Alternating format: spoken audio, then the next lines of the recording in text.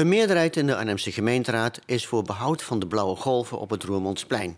D66, SP en CDA zijn daarentegen voor een creatieve corridor zonder blauwe golven en met meer groen. Voor- en tegenstanders van de beide plannen spraken woensdagavond in de gemeenteraad. RTV Arnhem sprak met enkele van hen. Ja, wat vindt u er eigenlijk van dat er uh, ja, zoveel te doen, zoveel ophef is rondom het kunstwerk wat u uh, ja, zoveel jaren geleden uh, ontworpen heeft? Ik ben blij dat er ophef is, want um, uiteraard de kunst moet het altijd afleggen in waardering. En uh, blijkbaar hebben een klein gezelschap van mensen zich behoorlijk ingezet om duidelijk te maken dat er moeilijk een alternatief te vinden is. De kwaliteit van de golven zit dat je visueel de connectie maakt onder die viaducten door naar het middenterrein. Ik ben stom verbaasd dat de stemming nu toch uiteindelijk voor de golven is. Namens de bewoners, meneer Oost, heeft u uh, ingesproken. Uh, wat vindt u van de voorgelegde opties? Nou, ik, wij zijn enorm voor optie A. Alleen het lijkt erop dat uh, de Raad voor optie B gaat kiezen. Ik ben erg teleurgesteld over de houding van GroenLinks en van de ChristenUnie met name. Toevallig zijn dat de twee partijen die in het vorige college hebben gezeten. En volgens mij zit daar nog steeds oud-sier.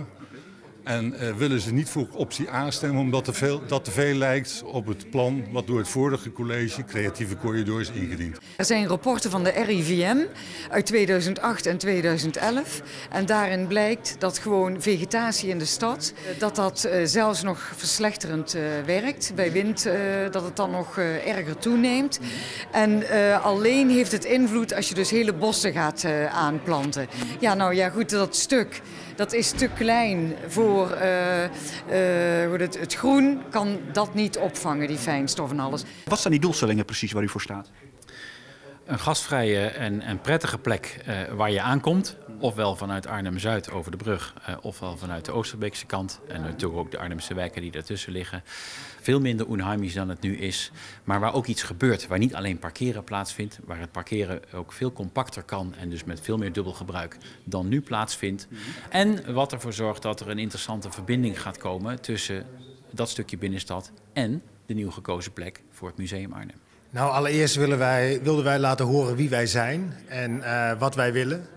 En op zich is het al een, uh, uh, zijn de kaarten heel gunstig geschud, want alle opties die er nu liggen bij de gemeenteraad, ja, daar is een skatepark in verwerkt.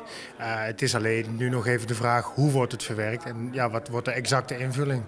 Maar de, uh, ja, het ziet er erg gunstig uit voor ons op dit moment. Ik heb uh, in de afgelopen paar jaar al heel veel talenten hier in Arnhem zien opgroeien.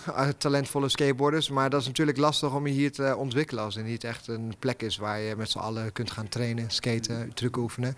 En daarvan zal het wel zeker, daar zal het heel belangrijk voor zijn.